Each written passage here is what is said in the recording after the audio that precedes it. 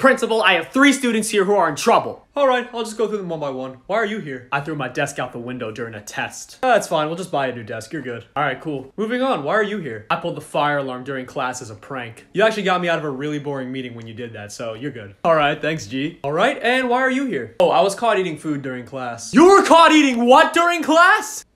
Food? What else would I be? Detention! For eating? Are you kidding? Yes! You should only eat during lunch when we feed you! You want me to eat that? The food you serve us is inedible! Oh, please, you can eat it. No, we can't. It's not like we're giving you prison food. You know, I read prison food is actually better, so... So you're saying this school is a prison now, huh? The way you're running it? Yes. You know what? You just got another detention. Hey, you can't- And that's three. Dude, stop! Four. Keep it up. I'm just gonna keep adding detentions,